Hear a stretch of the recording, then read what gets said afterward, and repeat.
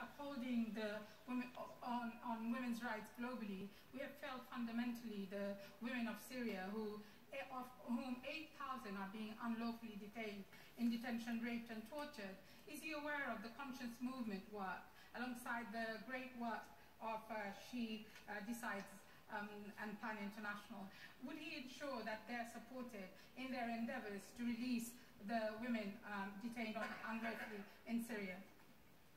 Well, I'm very happy to, to give a commitment that we will look at that. We've been at the forefront of work with our UN partners on the Security Council of looking at where we actually document uh, what has been happening in Syria uh, of women uh, and girls who've been the subject of uh, appalling violence to ensure that those crimes are thoroughly investigated and those responsible are brought to justice.